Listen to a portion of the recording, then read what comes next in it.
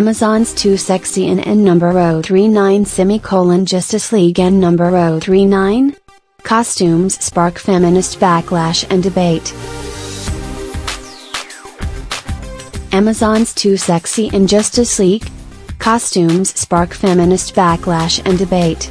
The legendary female warriors from Wonder Woman get a makeover in Justice League, and some people aren't happy about it.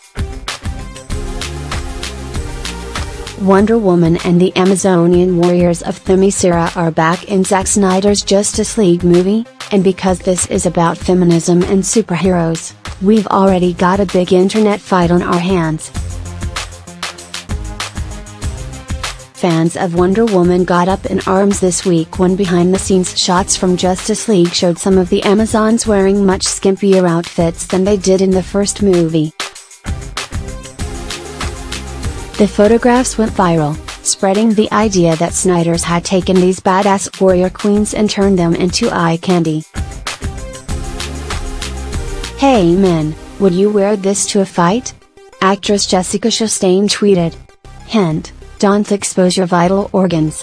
Ugh, I miss, Wonder Woman director, Patty Jenkins. However, fans of Zack Snyder, and critics of feminist arguments in general, have been quick to point out that the Justice League Amazons are pictured in full armor in other scenes from the film, and the skimpier outfits might be from a more primitive era in the Amazons' history. Meanwhile, the Amazons from Wonder Woman occasionally wore midriff-bearing outfits and no one seemed to mind. This argument was reinforced when Brooke Ence, a CrossFit champion who played an Amazon warrior in both Wonder Woman and Justice League, told USA Today that her skimpier outfit didn't bother me at all.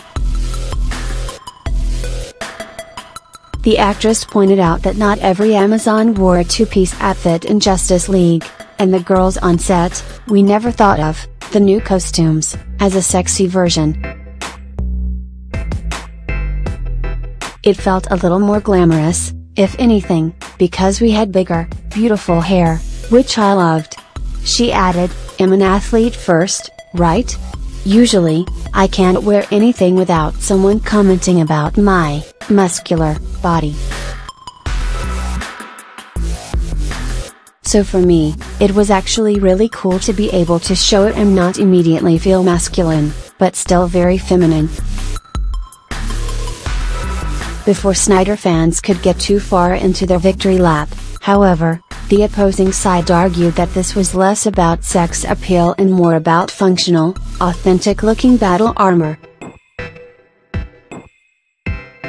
While the Amazons did occasionally wear midriff-bearing outfits in Wonder Woman, it was mostly in scenes when they were training or just hanging out in Themyscira, not riding into battle against soldiers with guns.